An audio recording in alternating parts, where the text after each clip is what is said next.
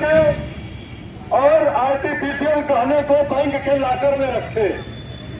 अब ये मूर्ख है या हम मूर्ख है? इस चीज़ का आकलन करने वाले जो टीएम साहब है, उन्होंने अपने मूर्खता का परिचय देते हुए चोरी के ठीक दूसरे दिन बता दिया कि लगभग 50 लाख रुपए की चोरी हुई है और हमारी पुलिस टीम ने तत्परता दिखाते हुए 50 लाख रुपए के लगभग का सामान प्राप्त किया हम लोग को अनपढ़ घोषित कर दिए हैं कि हम लोग को कोई जानकारी ही नहीं। जानकारी नहीं है। ऊपर कर रहे हैं? और मैं ये बता दूँ कि अगर पढ़ लिख करके वो कुर्सी पे बैठे हैं तो यहाँ भी कोई जो है झोला छाप नहीं है। और अगर झोला छाप भी है तो आपके बुद्धि विवेक से कहीं अधिक है। श्रीलंका का हम